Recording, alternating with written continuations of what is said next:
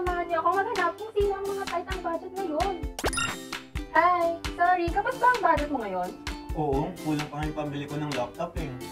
Pwede pairam mo yung cellphone? Cellphone ko? Okay, sige. Wow! Nakatanggap ako ng 15,000 pesos. Totoo ba to? Ang dali at bilis lang, di ba? Thank you ah. Uy, paano yan? Gusto ko rin manghiram ng pera. Kaso wala akong guarantor o co-maker. Okay lang kaya yun? Oo naman, pero mo yung phone. Wow! Pwede na akong humiram ng up to 20,000 pesos. Totoo ba to? Ito ang totoo, hindi kailangan ng guarantor o collateral. Isang valid ID lang ang kailangan. Kaya kayong mga nanonood sa screen, kung kailangan nyo manghiram